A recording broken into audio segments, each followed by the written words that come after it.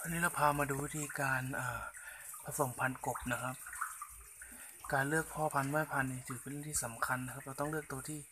มีความพร้อมแล้วก็สมบูรณ์ สภาพสุขภาพแข็งแรงนะครับ ในการพร้อมปัจจัยหนึ่งก็คือต้องมี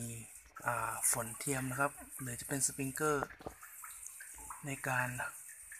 ให้เกิดบรรยากาศที่กบพร้อมที่จะผสมพันธุ์นะครับ วกนี้น่าจะไข่เมื่อไข่แล้วเราจะนำพ่อแม่พันธุ์ออกนะครับ ในการใส่เนี่ยเราต้องใส่ตัวมีอัตราที่ 1 ต่อ 3 นะครับ เพื่อให้เกิดการ